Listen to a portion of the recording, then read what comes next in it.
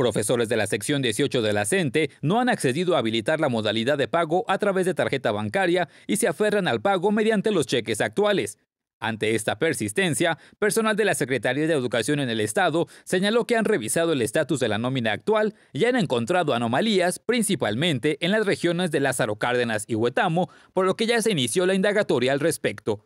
Está en proceso eh, aún este, la investigación a fondo pero ya, ya nos han brincado casos, ya tenemos casos, pero obviamente eh, en unos 15 días más yo creo que ya, ya se incrementaría la cifra, porque todavía no se concluye este proceso de, de la tarjeta, todavía nos quedan algunos pendientes con algunos maestros por entregarles. La funcionaria indicó que en estas anomalías se ubican tres principales rubros de irregularidades en el monto cobrado por los docentes, es decir, Profesores jubilados, maestros que fallecieron y docentes que ya no radican en el Estado siguen apareciendo en la nómina y su dinero cobrado por otras personas.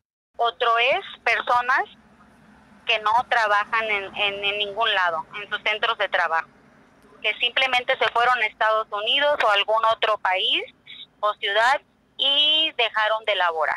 Hasta el momento, en esta primera revisión, han detectado al menos 25 maestros con cobros ilícitos, pero saben que existen más, debido a que esta problemática es añeja en la dependencia. La funcionaria indicó que por años este aspecto se ha hecho presente, pero anteriores administraciones habían sido omisas en su indagatoria, pero ante el daño causado a las finanzas, decidieron ahora comenzar a atacar este lastre. La investigación recién empezó, pero esperan que una vez reanudadas las labores en espacios jurídicos por la suspensión ante el COVID-19, se emprenda lo conducente en la materia legal que corresponda. Seguramente se va a hacer por el área de, auditoría o de en laborales, normatividad. Eh, eh, todavía no tenemos la instrucción de quién va a dar seguimiento, pero ahorita por la pandemia el tema va a estar un poco más tardado ya que pues habría justificación de parte de los docentes si se les llega a revisar en el centro de trabajo.